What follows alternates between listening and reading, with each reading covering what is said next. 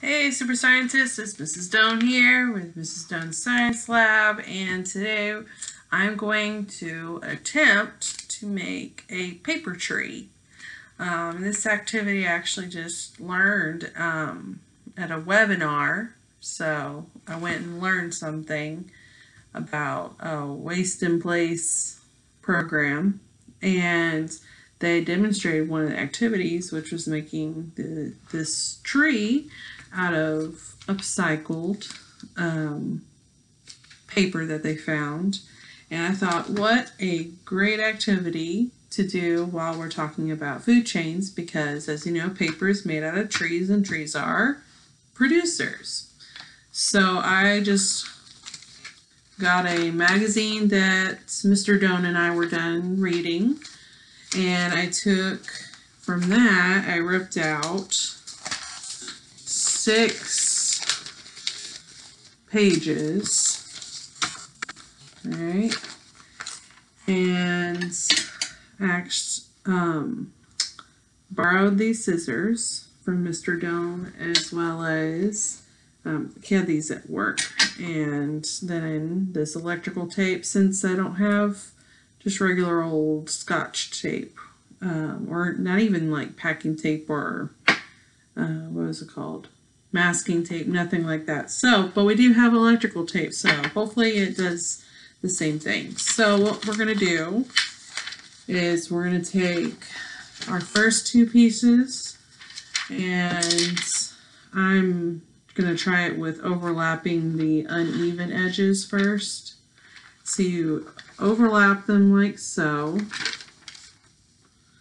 And then, but not too far over just enough to where all parts of it are not touching or are covered basically. So no gaps.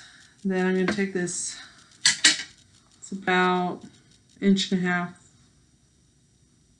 about, about two inches actually of tape. And I'm going to, let's see if I can show you. I'm going to tape the top.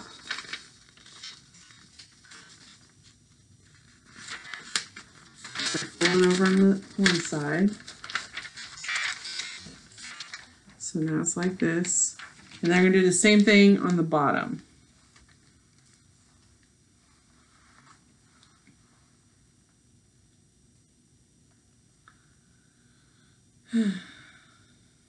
so Hope y'all are having a great day.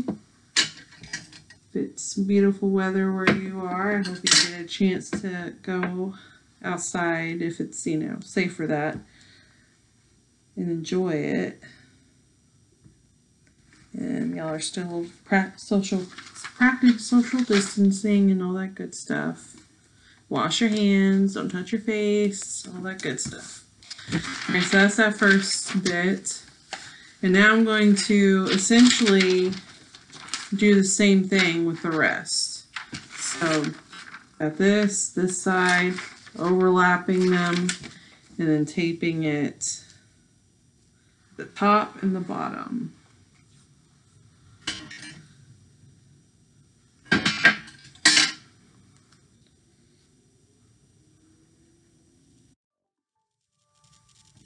Lots of emails today. That's what that little noise is. If you hear it in the background, it goes boo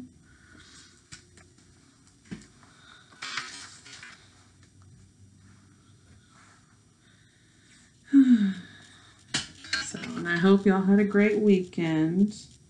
Mr. Done and I stayed home, of course. And we ate on Sunday, we had a meal, a virtual family meal. So his sister and her husband and his Mr. Done's grandparents and Mr. Done's mom and stepdad. We all got on our little on a video chat basically while we ate food. so it's glad to at least see their faces.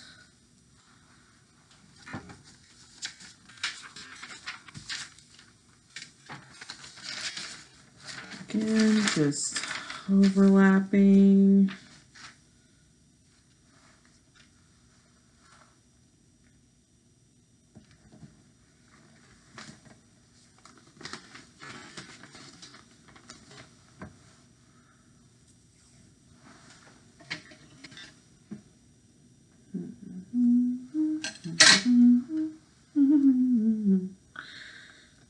Hard to believe that, you know, April's already halfway over. Next thing you know, it's going to be May.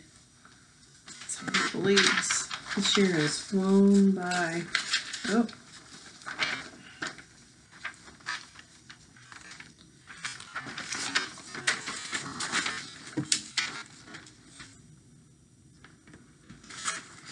So if you have any of these kind of supplies at home, can do this activity as well.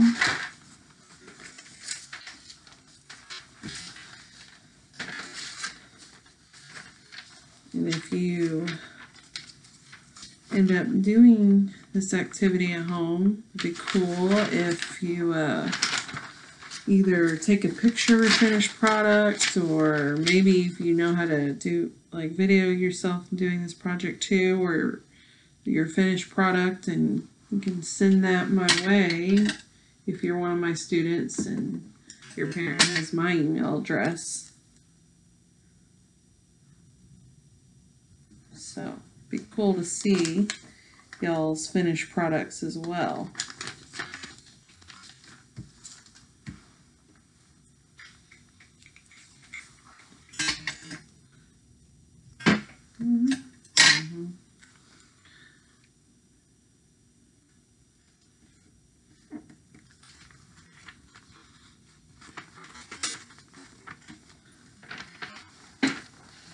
Now I am on my last page.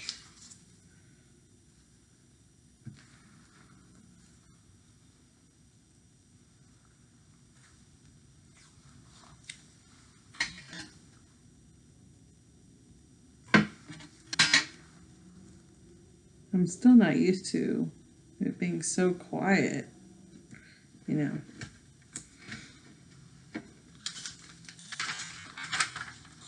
Much rather be hanging out with all my students and learning awesome things. But this this will do for now.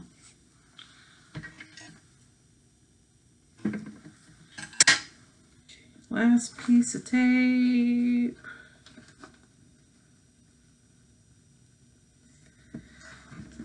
I'm being a little bit of a perfectionist right now. Sorry. So this is the finish step. If you don't have six pages, um, you can do like if even if you just have like five or four pieces of paper. Um, and the main point also is let's try not to um, you know use brand new paper if you um, if you can because the beauty of it is that we're using or upcycling materials that were already used. So now this part um, is where it would come in handy if you have an empty paper towel roll. So you know you have your paper towels and then and then once you're done using all them it's that tan um, cardboard cylinder. And so that would be helpful to have right now but I don't have one of those. So what I'm going to do is I'm just going to roll it up to the best of my ability without completely you know flattening that center part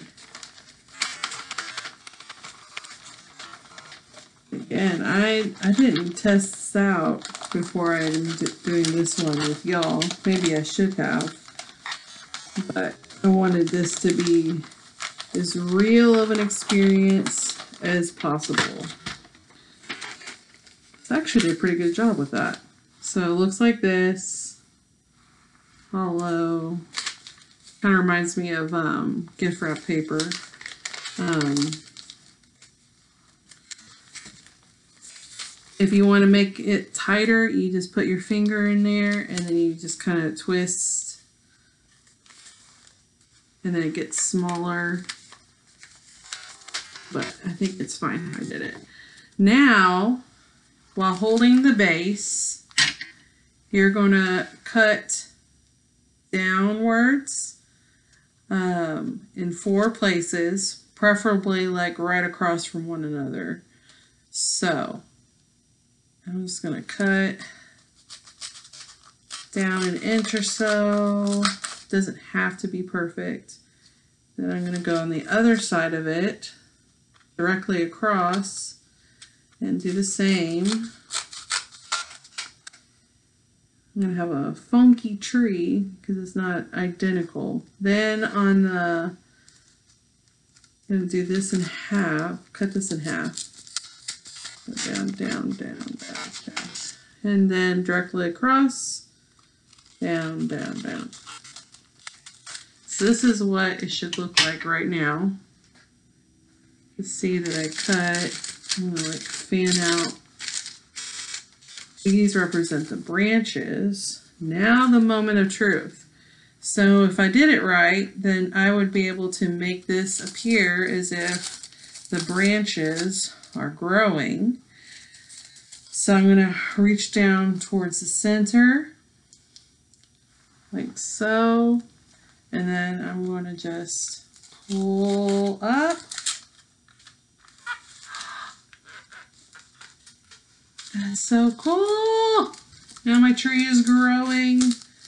And now remember what trees need, and other producers need to live. Um, they need water, they need soil, and they need the sun. And if they get all of those needs, then they will grow and thrive. Uh, also, if they have enough space, because if plants get overcrowded, then they don't have enough space to grow, and that's now cause them to not thrive or not get enough resources. And it can actually go back down too a little bit. So, but up and down. Huh. And yeah, and the, this producer, this tree, this magic tree, is the trainer called it when she taught me how to do this activity. Um, this, yeah, this representation of a producer it grow, you know, makes its own food through photosynthesis. It creates those sugars, and with the combination of water and carbon dioxide, which you know we breathe out carbon dioxide. That's why it's good to talk to plants. It gives them that extra CO two, and then that in sunlight, you mix it all together, and through photosynthesis, it creates the sugars.